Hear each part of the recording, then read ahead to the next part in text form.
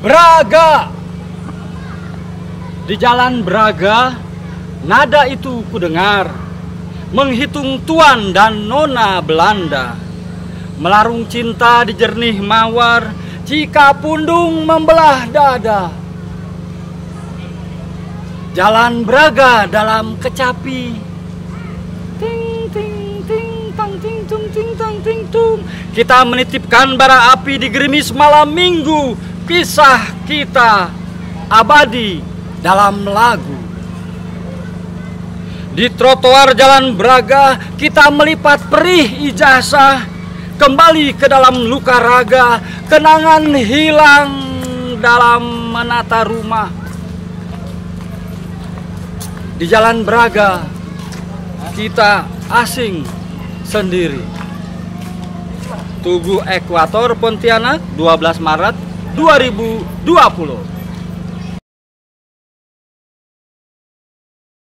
Sahabat Golagong TV, saya masih di areal Tugu Ekuator Pontianak. Tadi saya membacakan sebuah puisi berjudul Braga.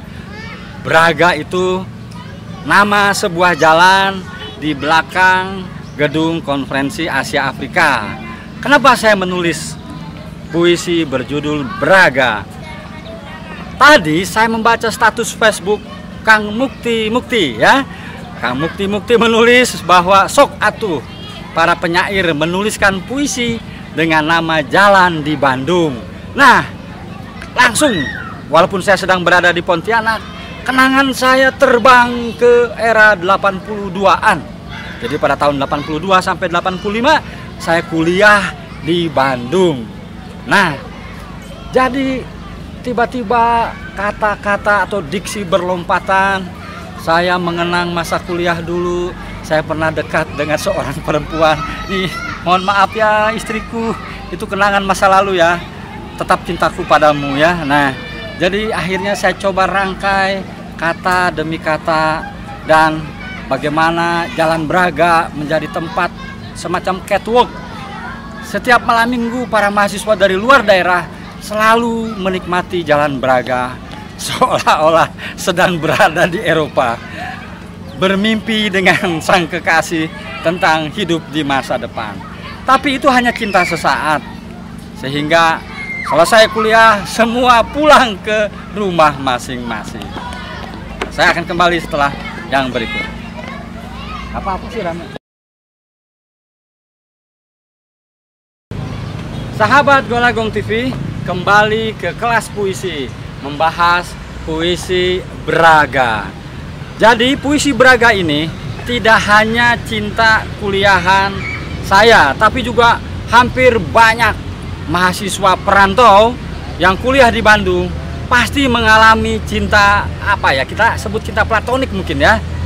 Jadi ketika saya menulis puisi ini saya tertawa ya, terkenang bagaimana uh, usia sekolahan waktu itu ya lulus SMA kemudian uh, kuliah 1-2 tahun ngegombalin cewek uh, menyusuri jalan-jalan di Bandung kemudian di jalan Braga. Nada itu ku dengar.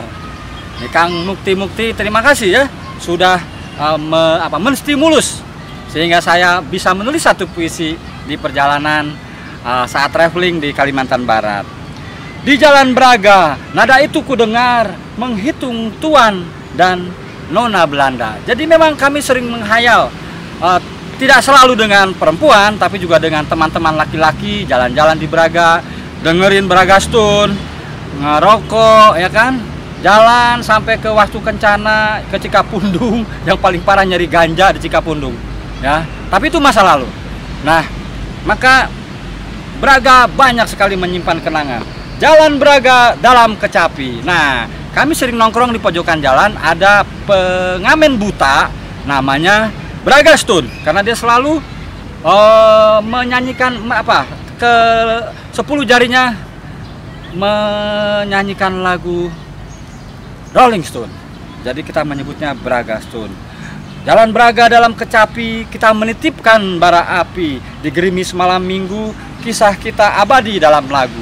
Jadi puisi Braga ini bukan sekadar cinta antar uh, berbeda jenis kelamin, tapi juga di sini tentang persahabatan, tentang sebuah geng, tentang kerinduan pada kampung halaman. Jadi malam minggu adalah malam yang panjang bagi para perantau atau mahasiswa dari kampung Banten, dari luar Jawa dan sebagainya menghabiskan di malam minggu. Oke, saya akan kembali setelah yang berikut.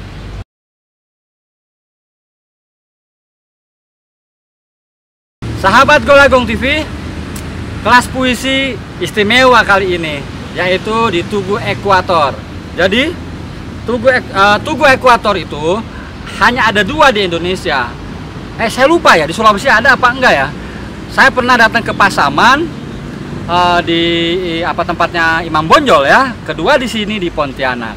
Jadi sekali lagi ketika traveling selalu panca indera kita di stimulus dirangsang terus kita uh, jangan pernah berhenti berpikir lalu menggunakan rasa lalu uh, kita sentuh imajinasi kita untuk menulis cerita pendek, menulis puisi atau menulis novel.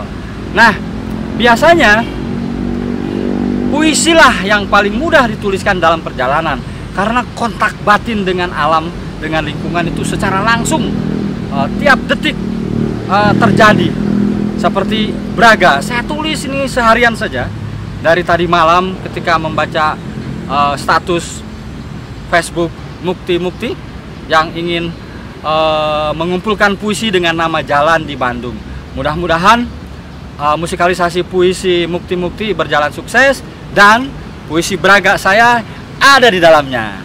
Terima kasih sudah menonton Golagong TV. Jangan lupa share, like, and subscribe. Golagong TV, dunia kata, dunia imajinasi, dunia kita semua tentang literasi semua ada di sini. Puisi membuat hati kita bahagia.